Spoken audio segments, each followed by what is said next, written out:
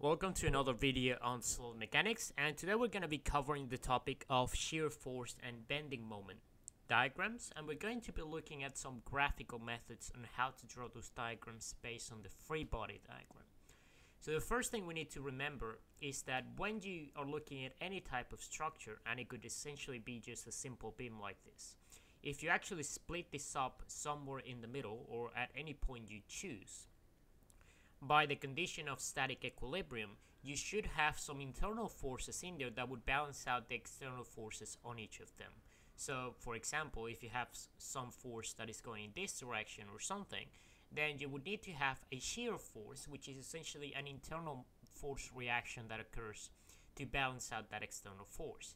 And the same happens with moments. You're going to have moments that are going to balance out whatever rotations are going to be caused by the external forces and moments. So in general, when you split it up, we consider the left hand side of that cut to be um, to have a shear force going downwards like this, and then the bending moment is going to be going anti-clockwise.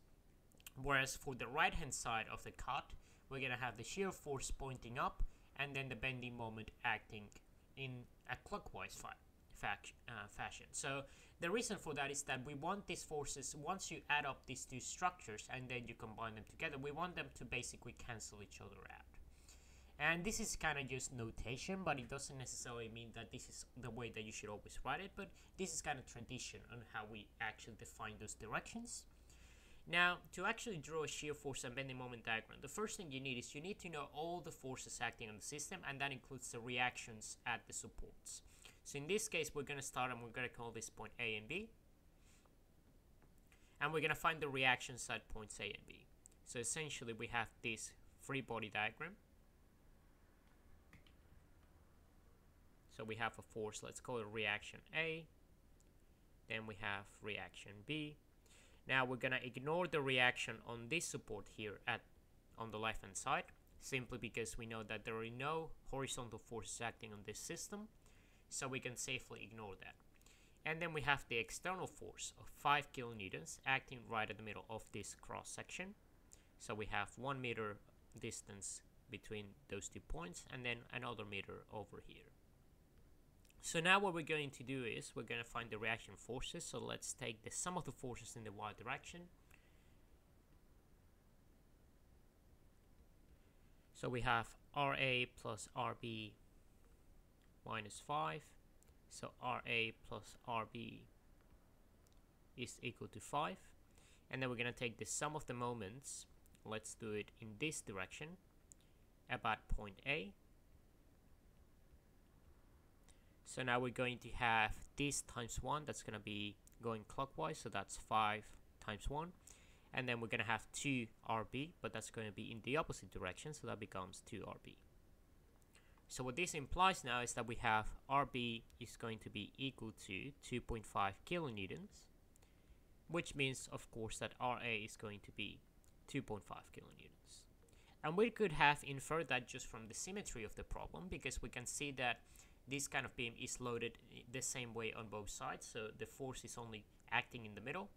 So we could have e easily just split this up into two and it would have given us the same result. But this is the more rigorous approach that we should take. Now, in order to actually compute the shear force and bending moment diagrams, what I'd like to do is I like to draw, so let's suppose this is our free body diagram. We have a force of 2.5 over here. What I'm going to do is I'm going to draw the shear force diagram right beneath this one. So I'm just going to draw a set of axes like this. So over here we're going to have distance x. So we consider this the horizontal distance from support A. That's going to be at 0 and then we're going to have the shear force as a function of the distance. Now what we see here is that we have a bunch of point loads, so they only act at a single point. And what this means is that we're only going to have a constant shear force throughout this structure. So for example, between this section here and the middle of the section, we have exactly the same shear force distribution all throughout. And the same thing happens on the other half of the structure because we only have point loads. So the first thing we do is we look, okay, so starting out at A, we have a 2.5 kilonewton force pointing upwards. So we're going to start over here and we're going to go up by 2.5 kilonewtons. So I should probably specify that this is kilonewtons, this is meters. And now we're going to do, okay, so this force is going to remain constant, so it's going to be a straight line until we get to the middle. So at this point, that's at 1 meters. Then we're going to go down by 5 kilonewtons, so this force is going to be down.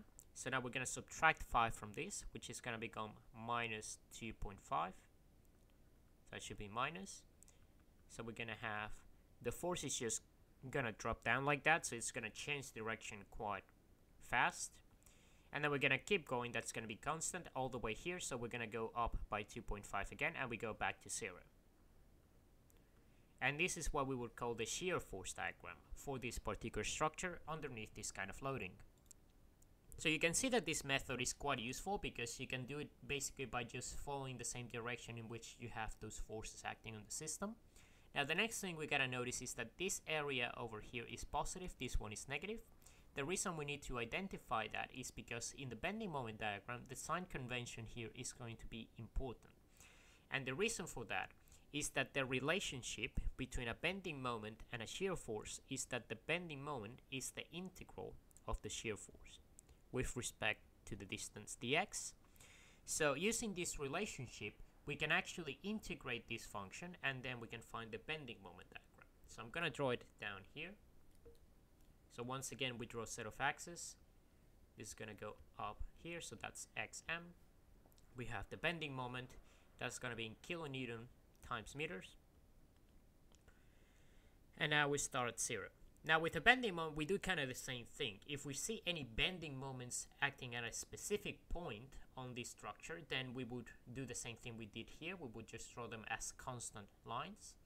But if we just have just this kind of area on the shear force diagram, all we do is we integrate it. So to start off with, we're going to start at zero. And then this means that we have an area. So this area over here is 2.5 times 1 so that has an area of 2.5 kilonewton times meters. So that's going to be the bending moment at the point that we come to 1 meter over here. So basically we're going to draw a straight line because remember this is a uh, this is a horizontal this is a constant function. If you integrate a constant you get a linear function which means this should be a linear equation like that. So we're going to go from 0 all the way to 2.5 which is the total area over here. So that's going to be 2.5 there. And then for the next one we're going to do, since we notice this is negative, it also has an area of 2.5, but in this case we say the area is negative. So that means that we're going to subtract 2.5 from this, and it is going to descend in the same linear fashion because this is also a constant value of the shear force. So we're going to go down with the same gradient, but now it's going to go in the opposite direction, and now that's going to be our bending moment diagram.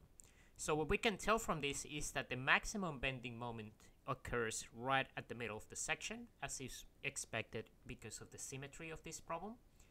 And then the next thing we're going to notice is that, okay, so we have the maximum bending moment is 2.5 kilonewton times meters and this occurs at 1 meter, so at the middle. And this is going to be quite important for when we're dealing with other things like bending stress and transfer shear and so on. We're going to have to use these diagrams to identify those locations for when those maximum values occur.